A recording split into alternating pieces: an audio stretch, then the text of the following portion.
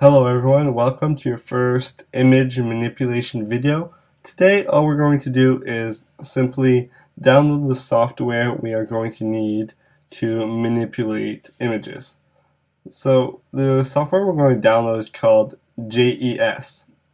stands for Jython Environment.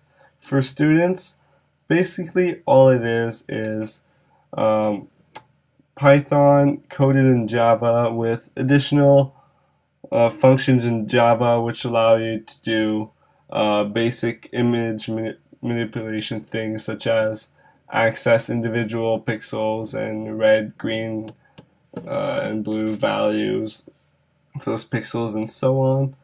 Um, so I'll provide a link in the description, but all you really essentially need to do is go to this website right here and download the version of JES for your operating system.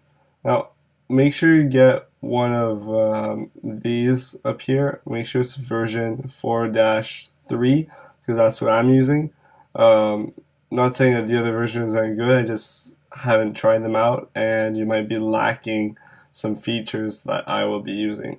So make sure you get a 4-3 and if you click on it, this one's a zip, you open it up and install it on your computer. That should all be really easy.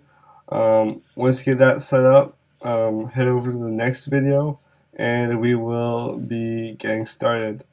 Thank you.